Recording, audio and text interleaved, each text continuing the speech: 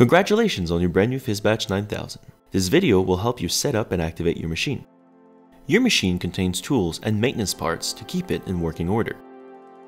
These parts can be found in the storage section below the scanning unit.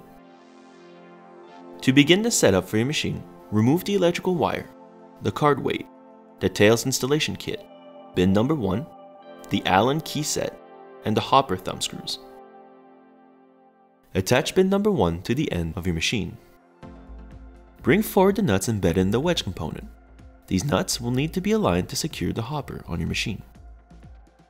Secure one side of the hopper using a thumb screw.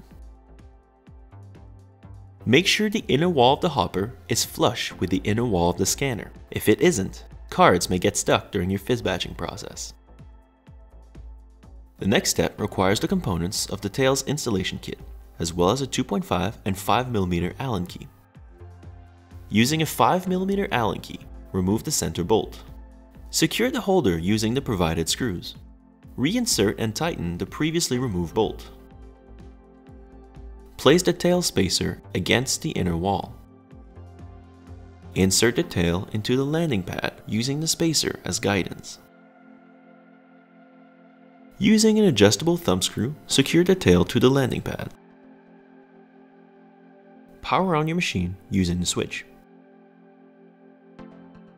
Power on your mini PC by pressing the button on the bottom right of your machine. A white light will appear in the center. Please note that the power supply to your machine and mini PC are independent. To shut off your mini PC, simply press the button on the bottom right of your machine. The white light in the center will disappear. Once your mini PC is switched on, open the network panel on your computer. Select the address seen on the service tag next to the power connector. When prompted, enter the following security key. Uppercase T, CG, the number 1, uppercase M, AC, HI, N, ES. On the new page, click Rescan until your internet network appears. This process may take a few minutes. Once your internet network is visible, select it and enter your Wi-Fi password. Then, click on the Submit button.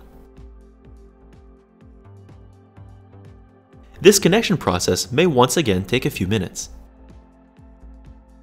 When you receive a positive connection status, a link will appear at the bottom of the page. Make sure to reconnect your personal computer to your internet network before the next step. When your personal computer is reconnected to the Wi-Fi network, click the link below. You will then be redirected to a login page. Your PhyzBatch 9000 can also be wired to your internet network. Remove the Ethernet cover located next to your service tag and insert the Ethernet cable into your machine.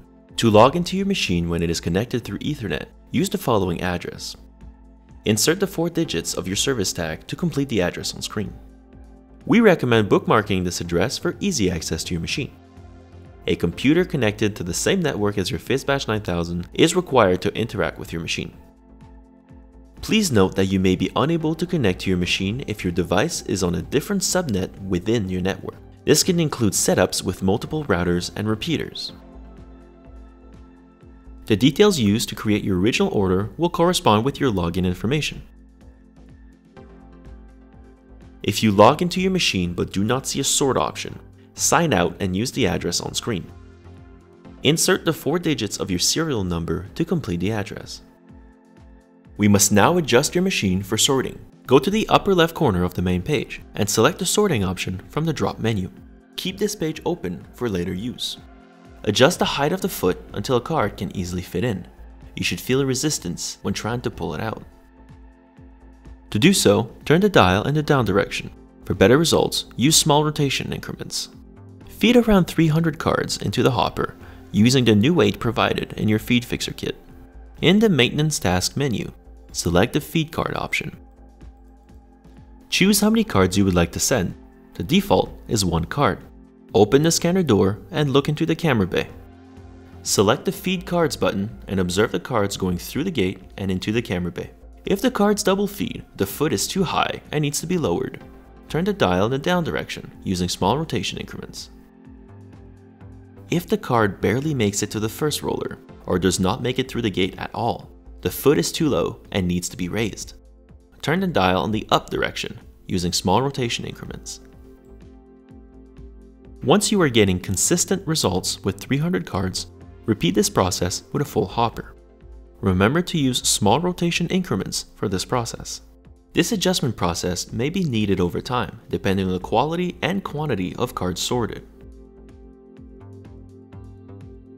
For more information, please contact support at tcgmachines.com.